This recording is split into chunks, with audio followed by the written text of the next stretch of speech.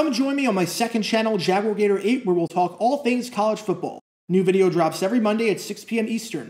Click the card in the upper right corner to watch the latest video. And now, on with our feature presentation.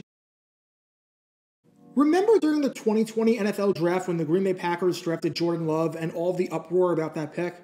Aside from the fact that the Packers were in win now mode and drafting a quarterback with Aaron Rodgers on the roster wasn't going to help you win now, aside from the fact that Love had very questionable tape from college and was a bit of a project, and aside from the fact that the Packers did nothing to address an already shaky wide receiver unit, the main uproar from this pick centered around the Packers not even informing Rodgers that they were drafting his successor. You can argue whether they owed him that right or not, and whether or not they should have informed him that they felt it was in their best interest to draft a future quarterback to eventually replace you. However, many people thought that this was a classless move on the part of the Packers front office, and that a little heads up would have been nice, because they completely butchered that situation.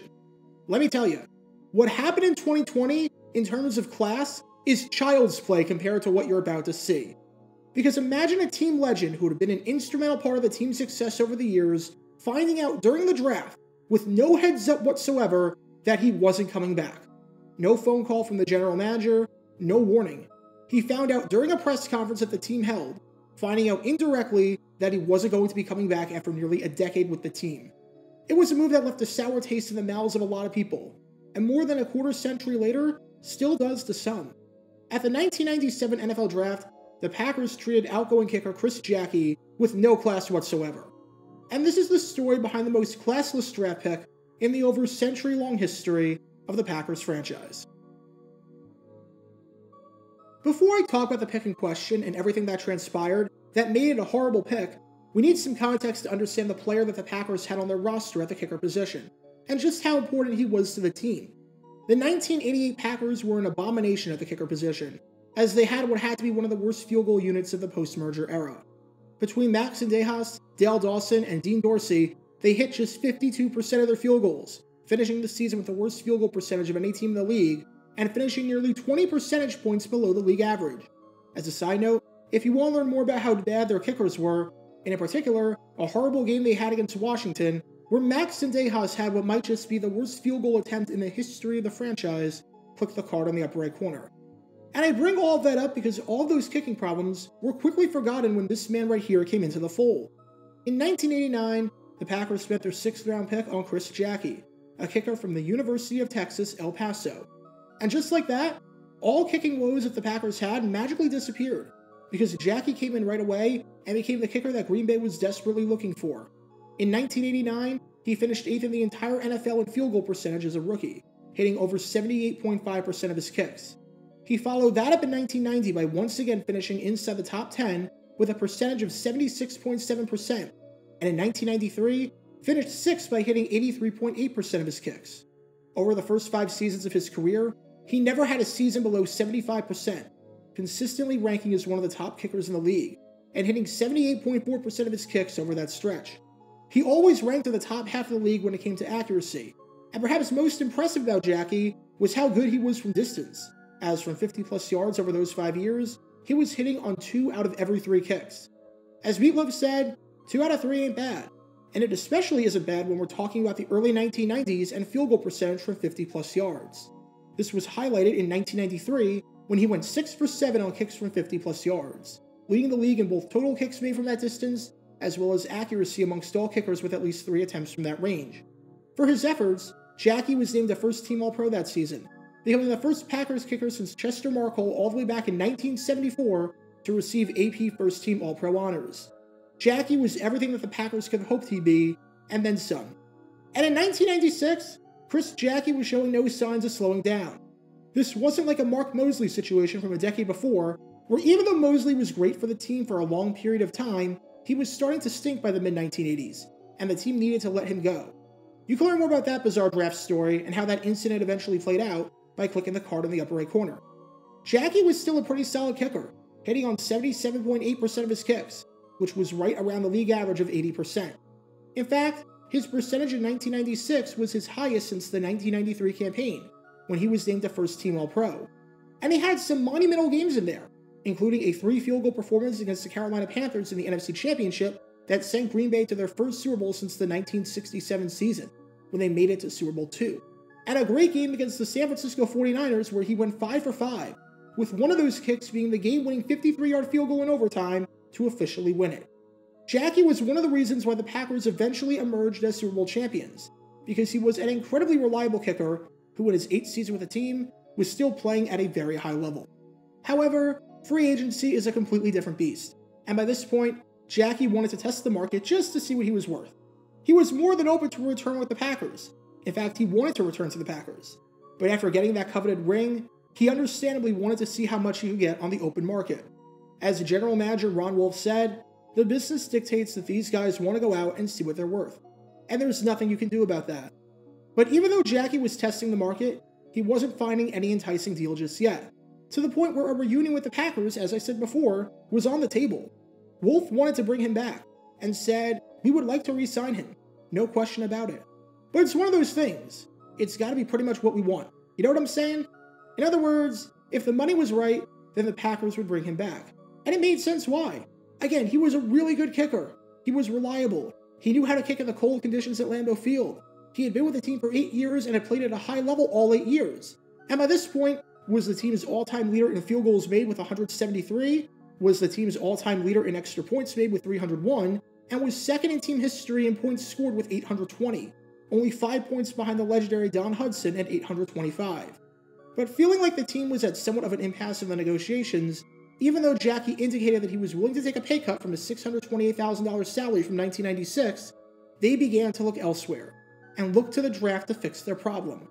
And with their third round pick, when they got on the clock at pick number 90, they saw an opportunity to draft their new kicker of the future.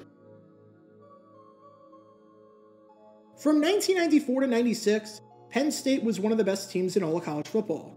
They went 12 0 in 1994, winning the Rose Bowl and finishing the season ranked number 2 in the AP poll, although some publications declared them the national champions. They followed that up with a 9 3 record in 1995 and an Outback Bowl win, and followed that up in 1996 with an 11 2 record and a Fiesta Bowl win. When you have a three year stretch where you go 32 and 5 and win over 86% of your games, especially in a conference like the Big Ten, you're doing something right, as you can make the argument that this was perhaps the most dominant three year stretch of Penn State football ever. And while there were many reasons for that, you can't underestimate and undervalue the importance of a great kicking game. Having a reliable kicker that you don't have to worry about, that can make clutch kicks, and can constantly be depended on for three points when called upon is huge.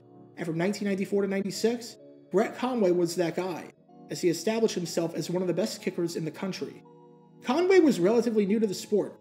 He used to be a soccer player and only started kicking footballs when he was 15 years old as a sophomore at Parkview High School. But he was an absolute natural at playing kicker. In 1994, he led the Big Ten in field goal percentage by hitting over 83% of his kicks, becoming the first Penn State kicker to ever lead the conference in this category, although Penn State had been in the conference for an admittedly short period of time. Over his four year career, he hit 73.8% of his field goals, which was pretty good for a college kicker back then.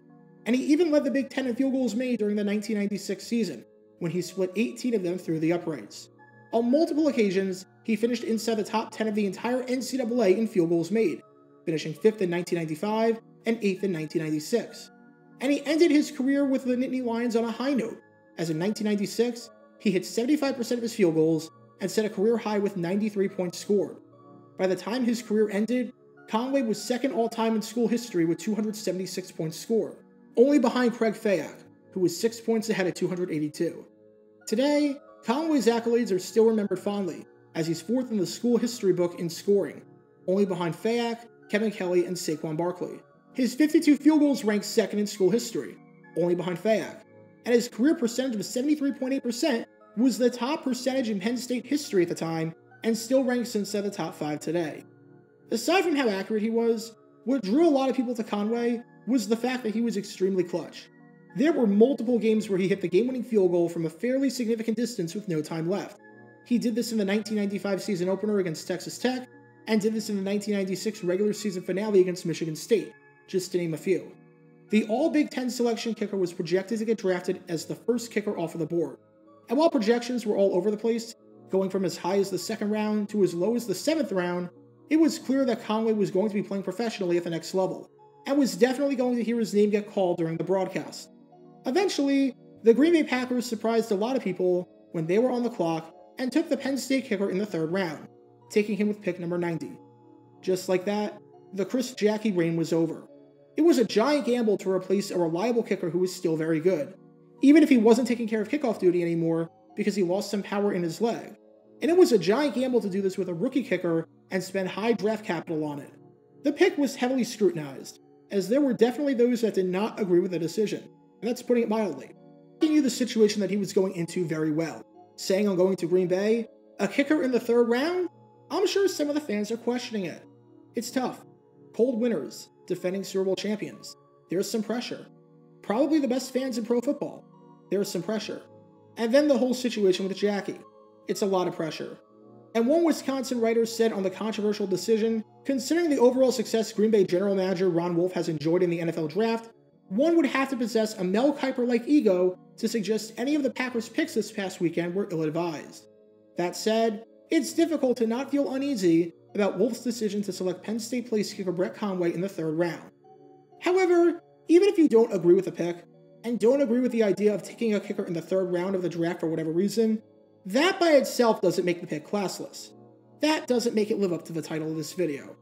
This is a business, and we've seen plenty of teams get rid of good players to go younger and to go cheaper. Heck, in 1978, Miami Dolphins kicker Garo Yepremian was named a Pro Bowler and led the league in field goal percentage, and he lost his job before the start of the 1979 season in a decision that Don Shula got absolutely crucified for, but turned out to some extent to be the right call. So by itself, drafting Brett Conway to replace Chris Jacke is not classless. But it's the way that it all transpired that makes you feel a bit uneasy. Because even though Jacke and the Packers were in negotiations and were talking about possibly coming back, do you want to know how Jacke found out about this? He found out that the Packers drafted his successor secondhand. In a normal world operated by people with morals and values, how something like this would have gone down would have been like this. The Packers would have called up Jacke, thanked him for his time in Green Bay, but said they were going in a different direction, and that wherever you wind up, you hope it works out for the best. Seems perfectly reasonable, right? Well, when the Packers drafted Conway, Jacke didn't even receive a phone call or a message or anything like that. They didn't have the audacity to tell Jacke that they were going in a different direction.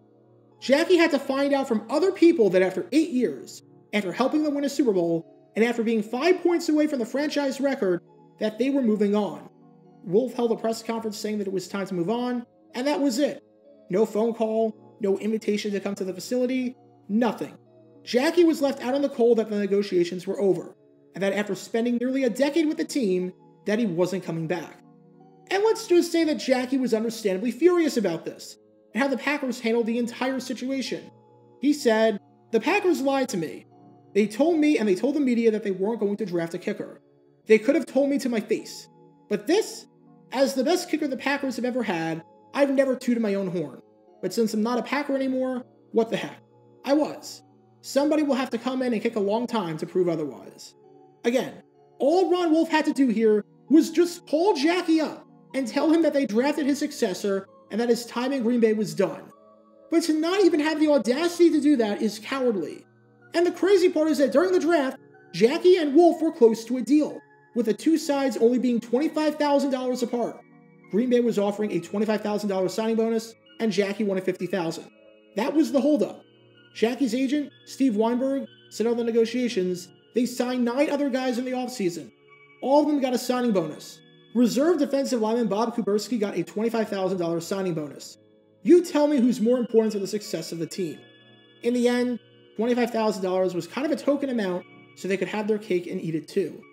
So the team had no problem contacting Jacke during the draft to talk about a deal. The two sides were in negotiations during the second round. But when it came time to inform him that they were drafting his successor and ending the negotiations, they went radio silent. Especially since Jacke didn't even visit any other teams and had every intention of re signing with the Packers, does that not feel a bit slimy to not even keep Jacke in the loop that he no longer has a job? The response after all of this was near universal. Chris Jacke deserves significantly better of a farewell. One writer said, Chris Jacke deserved better. Despite your feelings for the suddenly former Green Bay Packers field goal kicker, he deserved more than finding out secondhand that he was history. Sure, the NFL draft is a business, and stuff like this happens every day. But the guy deserved more consideration for what he'd done for the franchise. And another writer said, quite bluntly, their method of execution to get rid of Jacke flat out stunk. After 136 games and 830 points, Chris Jacke earned the right to have Packers general manager Ron Wolf call and tell him his services will no longer be required at 1365 Lombardi Avenue. Jacke got no such considerations. And the funny part about all this is that, to some extent, this completely blew up in Green Bay's face. Aside from the fact that this was just a bad look, Conway was a notorious draft bust, as he missed every kick that he attempted in the preseason before getting cut. There's a reason that you're still seeing Jacke highlights in Green Bay and not seeing any Conway highlights of his time with the Packers. And that's because he literally never made a field goal with the team in any competition. As bad as Roberto Aguayo was for the Bucks when they spent a second round pick on him, at least he, you know, made a field goal. I only say that it blew up in their face to some extent because they replaced him with Ryan Longwell, who kicked nine seasons in Green Bay and was exceptional. But it still doesn't negate the fact that not only was Conway an awful pick, but the way that they drafted him was shameful. Again, this has nothing to do with Conway whatsoever. This is entirely on Ron Wolf. And Jacke played a few more seasons in the NFL, spending the 1997 season with Washington and then spending 1998 and 1999 down in Arizona. But he'll forever be known for his successful tenure with the Packers, which was so successful that in 2013, he rightfully got inducted into the Green Bay Packers Hall of Fame. So I think it's safe to say that at least some wounds have been healed from this departure. But it still doesn't change the fact that the way Ron Wolf handled this situation was completely classless. If a guy plays at an extremely high level for you for a decade, and you draft his successor while you're still in talks to bring him back, the least you can do is actually inform him of this and not go dark. After eight seasons with the Packers, Chris Jacke deserves significantly better than to find out secondhand that his services were no longer needed and that the Packers were moving on. Because, as a general rule of thumb, not just in football, but in life as well, if you're going to move on from someone, at least have the decency to tell the person impacted by this that you're moving on. Because in this instance, Ron Wolf did not have such decency. Get your official Jaguar Gator 9 merchandise by going to jg9shop.com, and be sure to like this video, ring the notification bell, and subscribe down below if you haven't already, as it helps the channel out a lot. And be sure to check out Twitch every Wednesday night at 9 p.m. Eastern for your chance to play NFL trivia and win cash prizes. Link in the description below. If you want to see videos like this condensed down to 60 seconds, then follow me on TikTok at JaguarGator9. To see college football videos, subscribe to JaguarGator8. To see highlight videos of players throughout the history of the NFL, subscribe to JG9 Highlights. Also, special thanks to all of our Patreon supporters for helping out the channel. Your support is greatly appreciated. So you can become a patron and request future video topics in the description below.